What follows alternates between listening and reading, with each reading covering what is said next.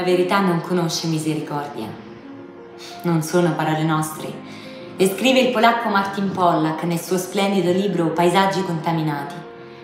Agghiacciante mappa di due secoli di orrore europeo, in cui lui se ne va alla ricerca delle fosse comuni, volutamente non identificate, nascoste, rimosse, scomparse nel nulla da decenni e decenni. Perché i carnefici di ogni colore non amano la pubblicità ma la verità, appunto, non conosce misericordia e i fantasmi prima o poi affiorano. Un giorno, un domani, non sappiamo esattamente quando, affioreranno anche i fantasmi di oggi. Non si può, insomma, fare a meno della memoria, dice Pollack. Per l'onore dei morti, innanzitutto, ma anche perché i vivi possono avere la coscienza un po' più pulita. Se così stanno le cose, allora forse è bene che ciascuno in questi giorni faccia la propria parte e non cavandosela con la misericordia.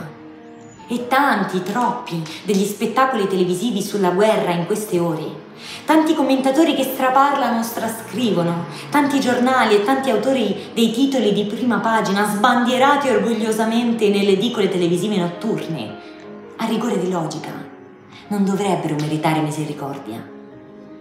A cosa ci riferiamo? È presto detto.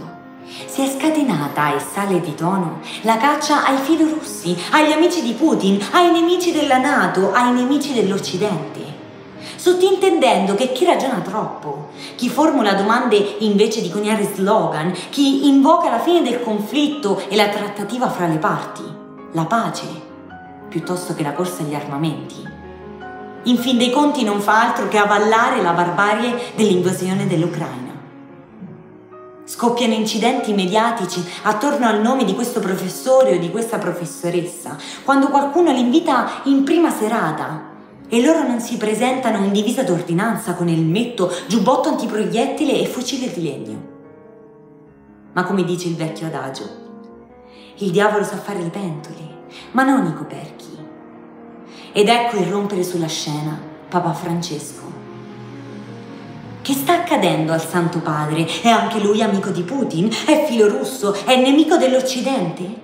Vuol che gli ucraini si arrendano?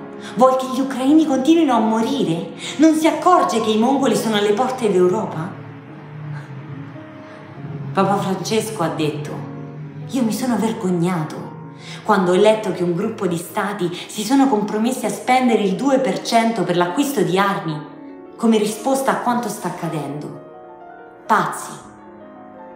E ancora, Ormai è evidente che la buona politica non può venire dalla cultura del potere, inteso come dominio e sopraffazione. La prova è la guerra vergognosa a cui stiamo assistendo. E ancora, la vera risposta non sono altre armi, altre sanzioni, altre alleanze politico-militari, ma un'altra impostazione, un modo diverso di governare un mondo ormai globalizzato e di impostare le relazioni internazionali non facendo vedere i denti. Il modello della cura è già in atto, grazie a Dio, ma purtroppo è ancora sottomesso a quello del potere economico, tecnocratico, militare. E non basta. Il problema di base è lo stesso. Si continua a governare il mondo come uno scacchiere. Le guerre regionali non sono mai mancate. Per questo io ho detto che eravamo nella terza guerra mondiale a pezzetti, un po' dappertutto. Il Papa si è bevuto il cervello? Secondo i telegiornali RAI che lo hanno ripetutamente censurato e da qui la solita baruffa di casa nostra in casi del genere, parrebbe proprio di sì. A onore del vero, anche altre grandi tv private hanno preferito fare orecchie da mercante. E invece, secondo noi, sembra che Papa Francesco si sia iscritto al piccolo club di quanti sono convinti che la verità non conosce misericordia. Insomma, a voi non sembra che il Papa stia dicendo parole giuste e sagge, condivisibili e sottoscrivibili anche in prima serata? O dobbiamo intropparci per leva obbligatoria nella narrazione nell'armata di Mario Draghi e Boris Johnson e Joe Biden? Ha un senso esibire la propria muscolatura, chimica o nucleare che sia, facendola precedere dall'avvertimento Russia, stai attenta a quello che fai perché anche noi abbiamo gli attributi. Perché tiravamo in causa diavolo, pentoli e coperchi? Perché adesso, anche nel mondo politico italiano, pare che qualcosa si stia muovendo. Il Papa imbarazza.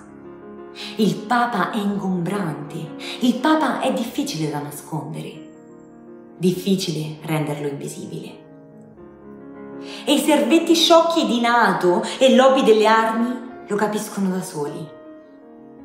Ecco allora che non sarebbe male se in prima serata, accanto agli analisti di guerra da videogame, e guarda caso qualcuno lo ricordiamo sin dalla guerra dell'Iraq, venissero invitati un sacerdote, una suora, un predicatore di parole buone. Siamo pur sempre il paese che diede i Natali a San Francesco, capace persino di predicare agli uccellini.